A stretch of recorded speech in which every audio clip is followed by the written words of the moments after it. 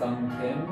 I teach piano, violin, and viola here at the school, and um, I learned and grew up playing classical music. Seeing my student when we're working on a certain bow stroke, um, they're finally able to uh, achieve that sound that they're going for, um, brings me great joy and happiness as well. Hope is for them to, you know, for my string players to maybe join an orchestra, youth orchestra, or play in a group like a quartet or trio. And for my piano students, um, to give more recitals.